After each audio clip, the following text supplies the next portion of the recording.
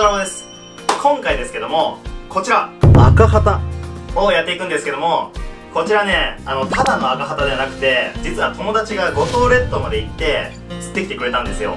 でこの赤旗っていうのはえ僕らでも結構釣りに行ってよく釣るんですけども他のよく釣れるあの生地旗とか大きい旗とかと比べると味が薄いといった印象なんですよね。なので、まあ、いつもは素材の味を重視して食べてるんですけども今回はがっつり味をつけてチンジョンを作って食べていきたいと思います。それでは早速観察していきましょう。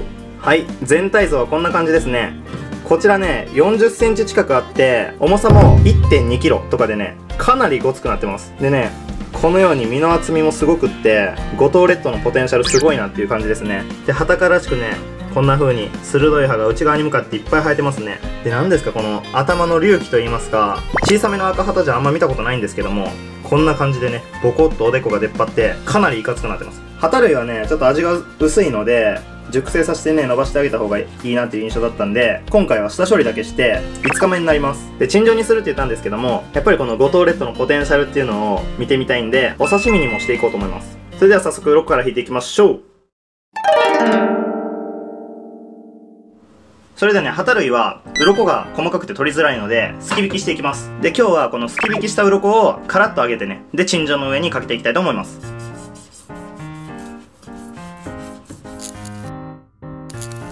はいそしてすき引きできましたら頭をつけたまま2枚に下ろしていきますおすごい油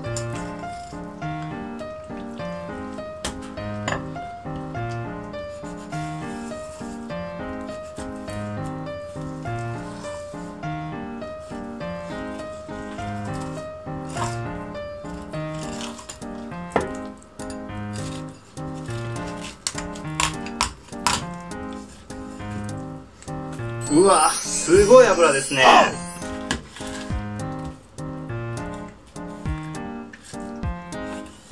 はいこんな風にね縁側の部分見てもらったら分かるんですけどめちゃめちゃ油乗ってますね。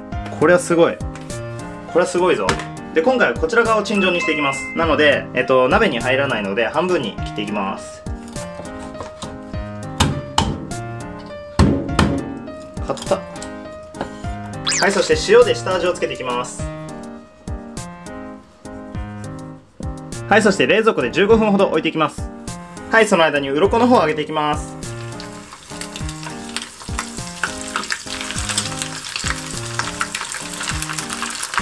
はいそして水分が出なくなったら揚げておきます。はいそして15分ほど経ちましたらこの表面に水分が出てくるので余った塩とともに拭いていきます。で余談なんですけどもこの旗類の刃は内側に倒れるんですけど外側には戻らないようになっていて捉えた獲物を逃がさないような仕組みになってます。はいまあそれを置いといてこのように拭けましたらこの蒸し器に皿をセットしてそこにね旗を置いてあこれ入るかな？ちょっとでかすぎるな。でそこに白ネギのね青い部分と生姜を置いてでそこに紹興酒と醤油とオイスターソースを2対1対1で割ってそこに鶏ガラスープの素を少し加えたものを回しかけて蓋をして火が通るまで蒸していきます。よし。はいそれじゃあその間にお刺身の方も作っていきます。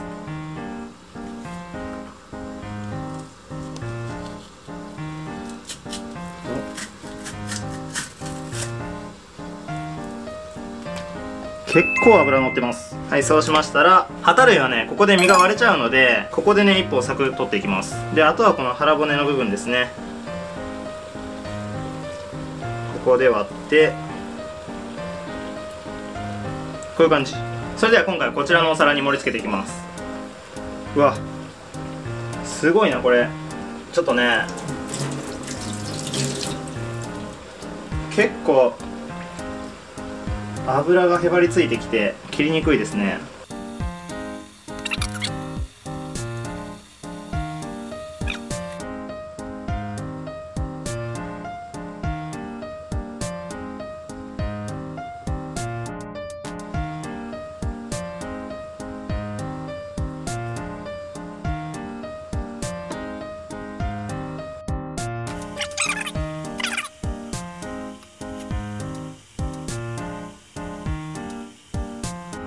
はいこれでお刺身完成です。はいそしてこのように蒸し上がりましたらどうしようこれ熱いな。崩れないようによし。盛り付けてこのタレもね最後に煮詰めてかけるので取っておいてモンハンミも同じように蒸していきます。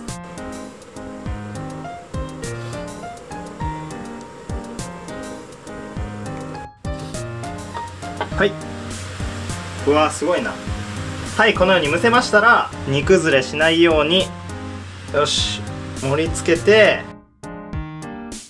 はいそしてとろみが出てきましたら魚の方にかけていきます。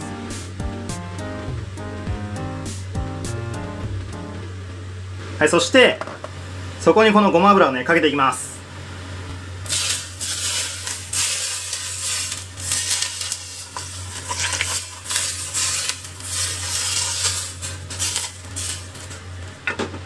はいこれでチンジョン完成です。それでは早速食べていきましょう。はいそれでは早速いただきます。まずお刺身からいきましょう。これ分かりますかね？サシが結構入ってて美味しそうですね。でこれをこの自家製ポン酢につけてあ油が浮きますね。すごいな。いただきます。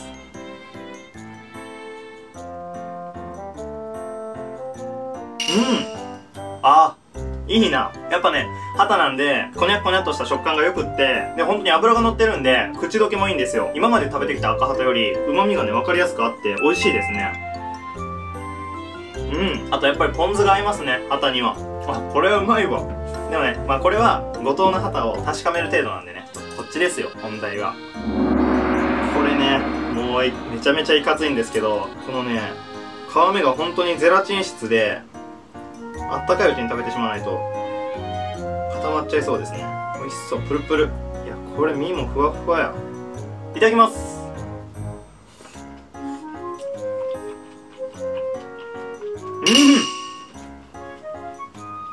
うん。うまっ。あー。うまい。これね、やっぱ紹興酒のおかげか、タレに中華料理らしい匂いっていうかなんか、いつも食べてる和食とかそういったものとは違うね、香りがついてて、新鮮なのと、あとね、やっぱ皮がね、あの、プルプルって言ったんですけど、トロトロですね。で、ネギと生姜の香りと、この食感とね、あ、やばい、あれ忘れてた。これせっかく作ったのにこちらの皮を忘れてましたね。これつけて食べてみます。これね、本当にサックサクに上がってて、絶対ね、食感のプラスになると思うんですよね。いただきます。